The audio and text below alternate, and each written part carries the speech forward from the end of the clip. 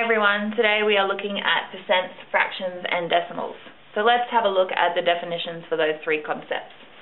A percent is a ratio that compares a number to 100, and this is the symbol we use for percent. A fraction is a comparison of two numbers by division, and it looks like this. We have a numerator and a denominator, and they are separated by this line called the vinculum. A decimal is a fraction with a base 10 denominator, for example 10, 100, 1000.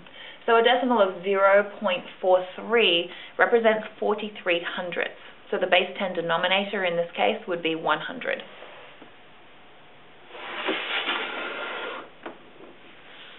Writing percents as decimals. Well, since percents are ratios that compare numbers to 100, 36% would be 36 compared to 100. And if we think of it as a fraction, we kind of think of it as a division. So 36 divided by 100. And when we are dividing a number by a base 10 number, we know that we need to move the decimal point, the number of spaces to the left that correspond with the number of zeros in that base 10 number. So 100 has two zeros, and so that means we will move the decimal point two places to the left. So 0.36 would be how we would write 36% as a decimal. 5% would be 5 out of 100, or 5 over 100. And if we think of it again as a division, it's 5 divided by 100. Again, we're using 100, which has two, uh, two zeros, so we'll move our decimal, decimal point two places to the left. So we would move it two places to the left, which would give us 0.05. So 5% written as a decimal is 0.05.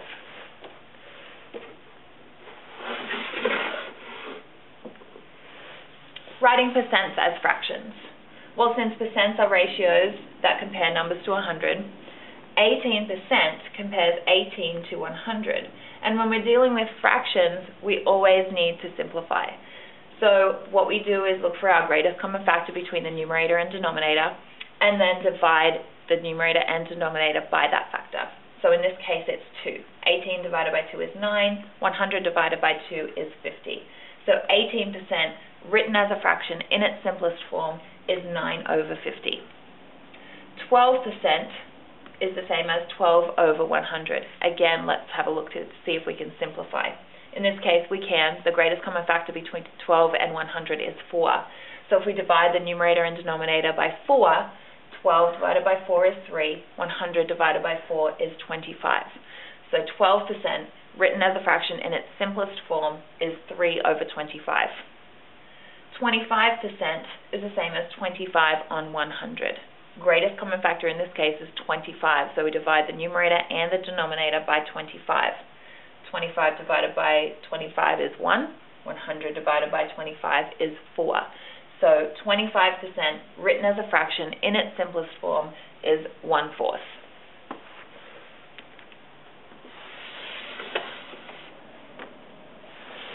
So how do we write decimals as percents? Well, you just saw us writing percents as decimals in which we divided by 100 and moved the decimal point two places to the left because 100 has two zeros in it. And if we're doing the opposite, writing a decimal as a percent, we're going to do the opposite, which means multiplying by 100, which means moving that decimal point two places to the right. So 0.43 is our decimal, and in order to write it as a percent, we multiply by 100, so we move that decimal point two places to the right. So it would be 43%. Don't forget the symbol for percent. 0.43 written as a percentage is 43%. 0.07 written as a percentage, same thing. We need to move this decimal point two places to the right because we're multiplying by 100 and here we have 7%.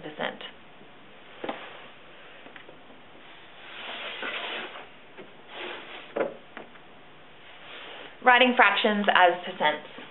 There are two ways to do this, and one is a lot more easy than the other, but uh, they both have their place.